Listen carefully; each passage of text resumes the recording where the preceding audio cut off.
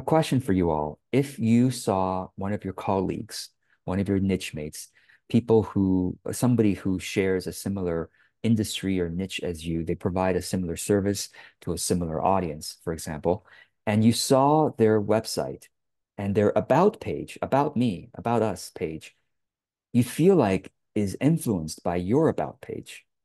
Like they maybe looked at yours and took some of the words and the phrases and they're using it there. How would you feel? I genuinely am curious. Or if you saw someone's bio, maybe they wrote an article and their their short bio underneath the article, or you heard them introduce themselves on a podcast or whatever, and you're like, wait, I use some of those words as well. Maybe they they took, you know, they took it from me, especially if it's someone you know that you said, well, it's plausible that they heard your bio or they heard your introduction or they saw your bio or they saw your about page and they got influenced by that, meaning they're borrowing some of that language on their bio, intro, or about page. How would you feel?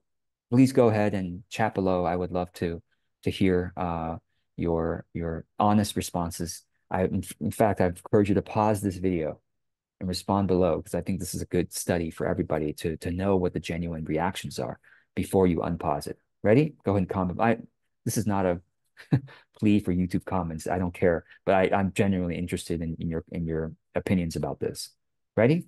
Pause it. Okay. All right. I'm going to continue on here. I just don't want to bias your answer by sharing what I think about it.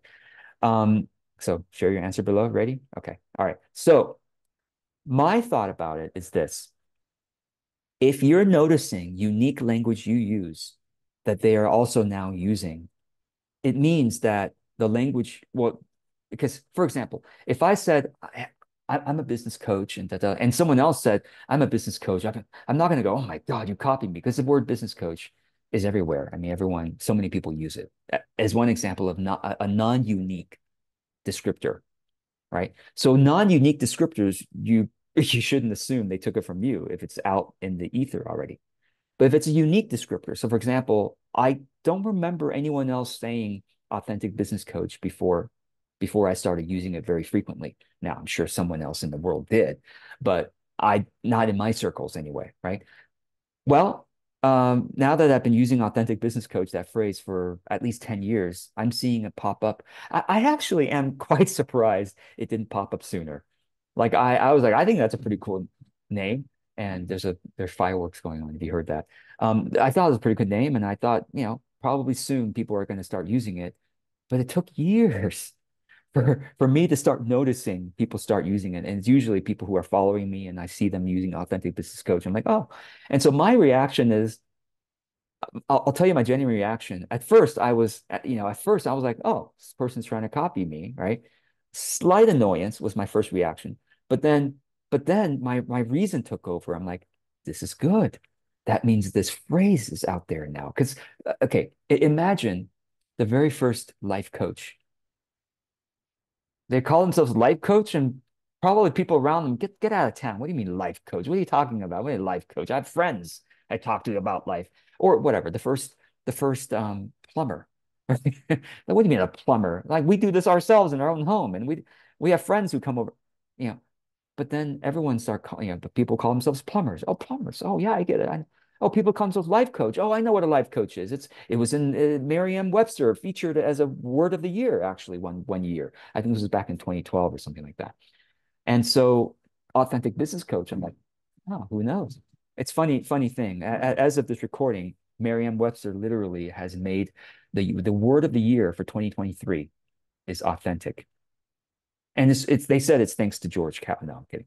Obviously, it was it's thanks to like Taylor Swift said it two times in 23 and became the word of the year or something like that. You know, they don't know anything about George Kao, but who knows? Maybe one day, authentic business coach will be something that is in the market that is that is well known, and and that that at that point I'd be like, hey, I was one of the first. You know, I could say that, or or if I said, okay, here's another phrase: joyful productivity. I've been saying that word since 2009 and nobody cared for like 10 years. And really, in the last couple of years, I've started to notice other people say joyful productivity, you know, and I'm like, I am so proud. Well, by the way, I, of course, published the, you know, a book as soon as I could. And I made videos about it as soon as I, so long story short is here, here's, here's what I'll say. If there is some kind of unique descriptor, you what you should be doing is putting out YouTube videos, YouTube videos, tweets, Twitter and YouTube are great timestamps for the public to say, I was there first. Facebook post, oh, Instagram post is another timestamp because you can't edit it. Facebook post is not as good of a timestamp. LinkedIn and Facebook are not as good of a timestamp because you can edit the post afterwards.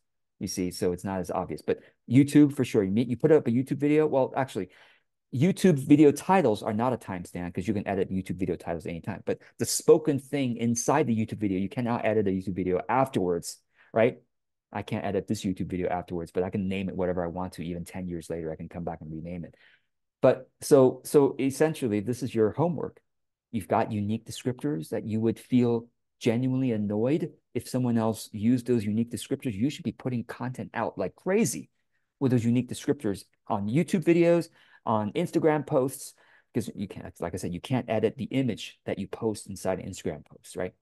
Uh, on Twitter, uh, Twitter, you cannot edit after an hour. So x.com, Twitter, whatever you want to call it. Those are all great as timestamps. Not that you're going to go and sue sue anybody. I have no I have I have no energy to not only do I not have energy to sue someone for whatever, I don't even have energy to chase them down. I don't even have, I don't even have the energy to say, hey, I was there first or whatever. But it's more of a point of personal pride and point of in the future, if in the case you need to say, I was there early or I was there, you can't say you were first because who knows someone else may have you. But you could say, hey, it was one of the I was one of the early people to start using, you know, uh, EFT for musicians. I was one of the early, if, if you were that kind of service provider. You see what I mean? So I hope this is helpful and uh, may this liberate you to create more content. That's really my secret agenda is to get you to create more content. So on your on your unique stuff. So I hope this helps. And I want to say one more thing, um, just to kind of re reiterate the fact that the more a unique descriptor or phrase or way of describing something is out there, the more people it's reaching. You see what I mean? Because you're not the only one tirelessly, you know, telling people about this phrase or this unique way of talking about something. Now other people are helping you out to educate the market. And the more a market is educated, the more sales everybody has. So it's actually you're you're making the pie, they're making the pie bigger for you if they're using your phrase or your descriptor. So I hope this helps.